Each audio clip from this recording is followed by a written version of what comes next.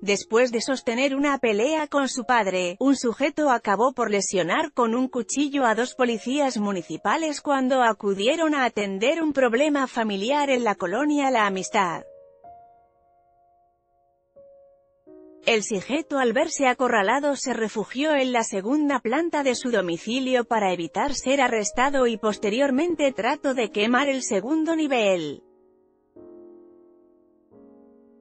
Posteriormente intentó escapar en una motocicleta pero fue detenido por otros agentes que llegaron a dar apoyo a sus colegas. Los hechos fue alrededor de las 1 y 30 horas cuando el hombre discutía con su papá por motivos desconocidos y la discusión derivó a los golpes. Vecinos que se percataron del zafarrancho rápidamente llamaron a los servicios de emergencias para que ellos se encargaran del problema que parecía ir a cosas mayores.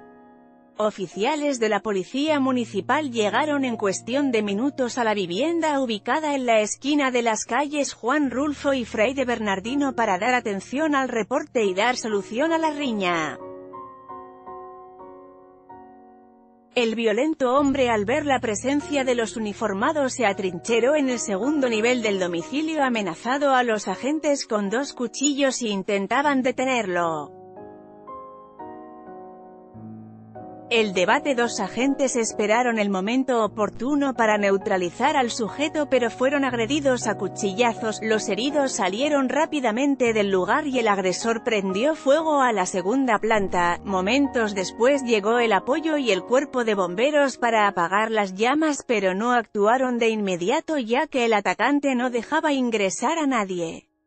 La fuga en un momento de descuido de las autoridades el agresivo hombre huyó por la parte trasera donde uno de sus amigos lo esperaba a bordo de una motocicleta. El debate los dos individuos aceleraron la marcha y se perdieron entre las calles del sector pero el apoyo logró localizarlos y empezaron la persecución para darle alcance al evasivo delincuente. Metros más adelante lograron capturarlo y los arrestaron. La ayuda al tener libertad para realizar el trabajo los bomberos apagaron las llamas tras varios minutos, el inmueble quedó severamente dañado debido a que no se extinguieron las llamas a tiempo. Temática, Pixabay paramédicos de la Cruz Roja llegaron al sitio para dar los primeros auxilios a los heridos y tras atenderlos en el lugar fueron llevados a un hospital para ser atendidos de mejor manera.